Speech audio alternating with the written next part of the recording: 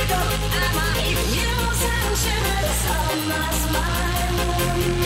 put